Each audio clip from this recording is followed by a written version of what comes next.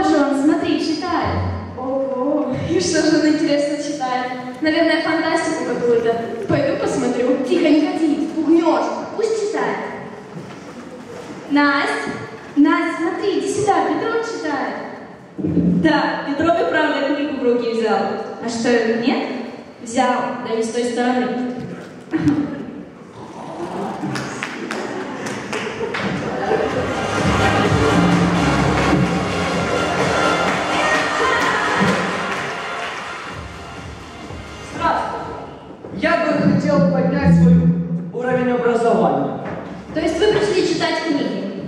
А что, без этого никак?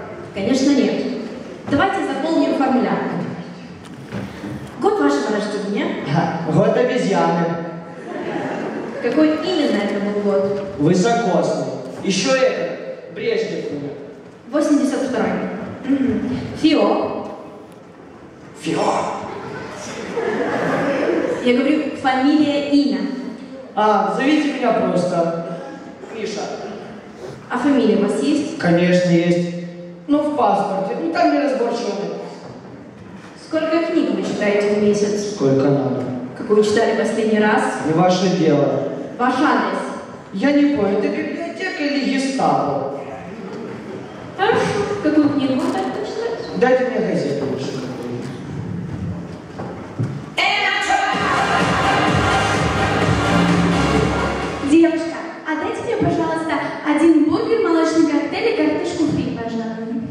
Девушка, это библиотека. Дайте, пожалуйста, мне один бургер, молочный коктейль и картошку фри. Я там подожду.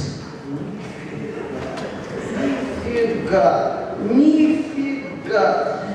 Мужчина, читайте, пожалуйста, про себя.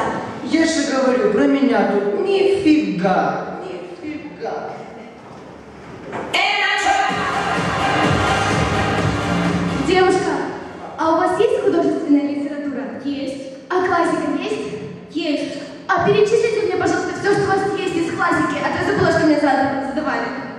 Всем стоять, это ограбление. Преступление наказания. Ты что, меня не понимаешь?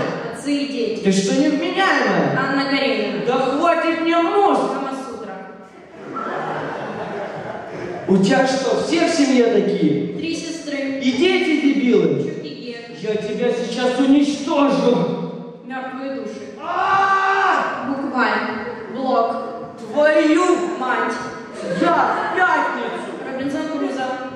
Пришел грабить библиотеку. Идиот.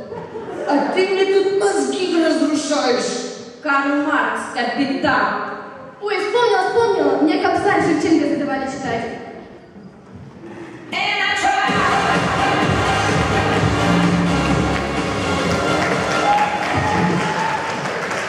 Друзья мои, хочу вам сказать, хоть мы живем в эпоху века, не зал компьютера, Не выход в интернет не сможет заменить общение с человеком. Ведь к вам порой приходят отдохнуть, вживую пообщаться, поделиться болью. Приходят атмосферу ту вдохнуть, которая пропитана заботой и любовью. Недаром говорят, кто в этом знает толк. Коль одолела хворь телесная, беги в аптеку. А если вдруг душа болит, спеши, мой друг, в библиотеку. Покой там обретешь в уюте и тиши. В народе говорят, библиотека Мудрый Дом. души.